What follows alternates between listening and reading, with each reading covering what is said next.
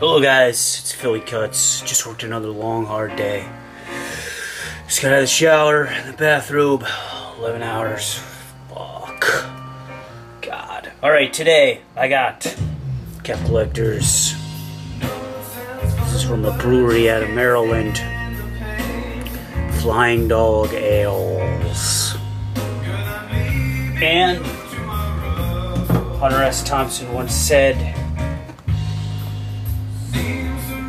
Good people drink good beer. Dr. Hunter S. Thompson. Is that for us to assume that assholes and dicks drink Budweiser?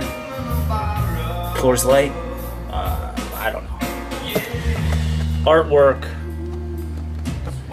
If you recognize, it's Ralph Steadman. There's the price of the beer too, $9.99. American. Ralph Steadman. Uh, did a lot of illustrations for many Hunter S. Thompson books. Fear and Loathing on the campaign trail 72. There's a Steadman drawing right there. It's a Godzilla drawing. A couple in the back. Four more years, four more years. That's a reference to Nixon. Here's the Godzilla again. A little clearer picture. Anyway, you get the point. Hunter S. Thompson, if you don't know who he is, here's a picture when he was young. I should have my pipe. But anyway, my tobacco pipe, thank you. There's Gonzo, father of Gonzo journalism himself. Hunter S. Thompson, you don't know who he is, check him out. Great, great writer, American writer. Alright, guys, first thing I want to talk about with this beer Snake Dog IPA. And there's the Snake Dog, baby. Weird looking thing. Resident Evil-ish. Something's gonna sprout out of my head after I drink this, and it could get nasty. Anyway, let's read what's on here. First, it, I like that it tells you right up front, right on the bottle, right there. See that? 7.1 alcohol, 60 IBUs, international bitterness units. Right off the bat, I don't gotta do any research, figure out how much is in here, how much alcohol, what the ABV is. All beer companies should do this, man. Put it right on the bo- bottle or you know put it on the contain you know the, the, the, the carton look this even goes into further detail telling you how hoppy it is. Color. Good good job. All right so here's the little story all right? Let's let's read it. Tired of those annoying 3 a.m hang-ups from your crazy stalking ex? Turns out the same qualities that make your ex so damn annoying make our snake dog ipa so attractive chock full of bitterness, bite, and attitude. It slaps you in the face with flavor, just like your psycho X did at the bar.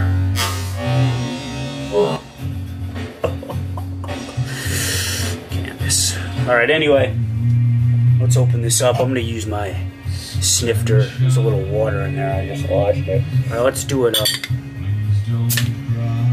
Ooh, that was a good one. That was a good billow of condensation like this here for you guys, alright?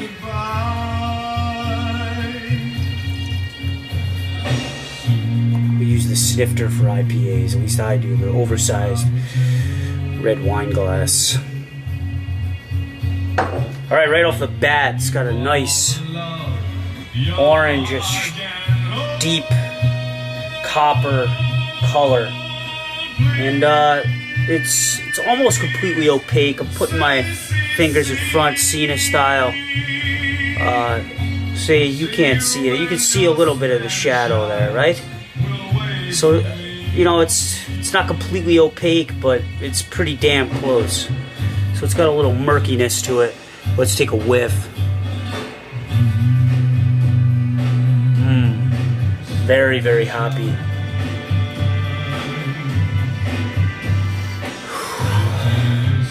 Citrus grapefruit, big citrus, grapefruit. I want to say pineapple, and then underlying that you get the malt. I also want to say like a caramel malt, so you can smell the, the sweetness. Uh, let's take a taste, buddy. And this smells like a West Coast. Think of a West Coast IPA. I always like to say Sierra Nevada Torpedo IPA for that kind of hops. I believe the hops used in this are Columbus and Warrior. So, They're not the Cascade that uh, we know that a lot of uh, Sierra Nevada brewing company likes to use. Anyway.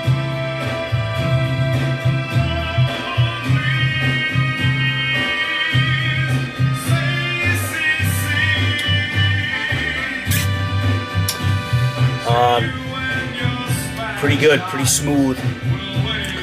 I'm getting that bitterness still. That bitterness is really coming in right in the middle of my tongue. Working its way around the edges of my tongue. It's sharp and bitter, but at the same time, very crisp and refreshing. Tasting a little bit of the malt.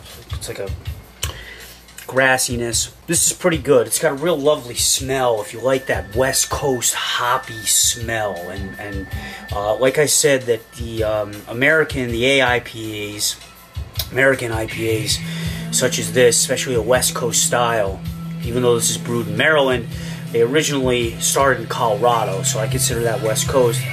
Um, it has that characteristic, and if you're familiar with the IPAs from that region, then you know what I'm talking about just sharp, not like a, a muted um, European IPA style, like a, an English IPA, uh, which kind of has that like I want to say earthy, like kind of muted hopness.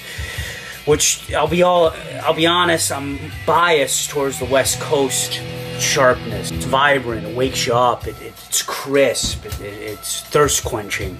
But at the same time, it's fairly typical. You know, nothing really too outstanding. I've had hoppier IPAs um, such as a lot of the Dogfish Head stuff.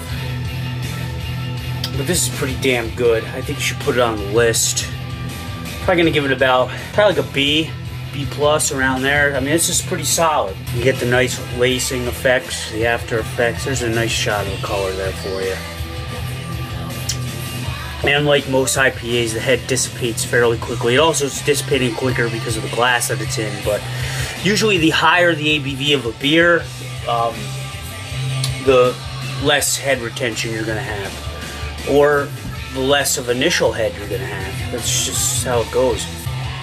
I'm still really getting that grapefruit, big citrus, pine, a little hint of pine, pineapple.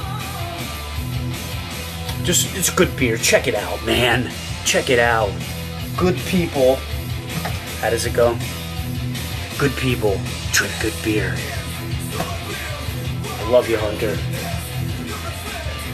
Great guy. I might uh, upload this article on my Tumblr account. I started one. Uh, I don't know if I could do that though. I don't know if that's legal. If I could copy it and put it up on my blog over there, but I don't know. Who knows? Someone down there let me know.